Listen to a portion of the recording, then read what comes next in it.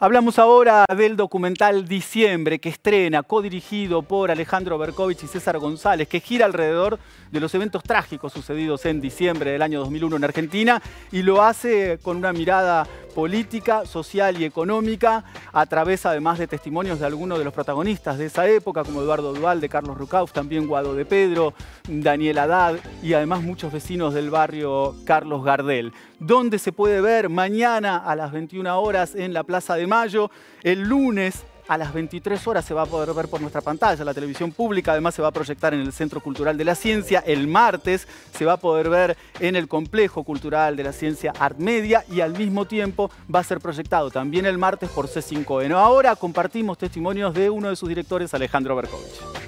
He decretado el estado de sitio en todo el territorio nacional.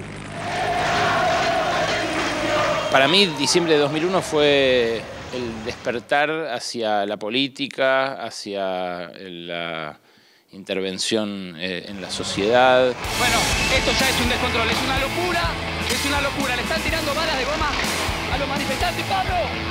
¡Pablo!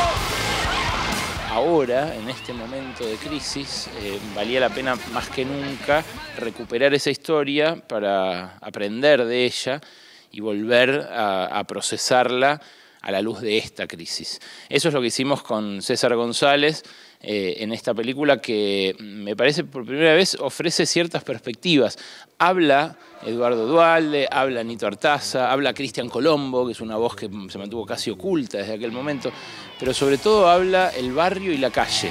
Este es uno de los dos supermercados que saqueamos acá en el barrio. Eh, se escuchaba un agite. Vamos, vamos, vamos, era... ¿Qué es lo que se lleva? Dame mercadería, porque no tengo para comer.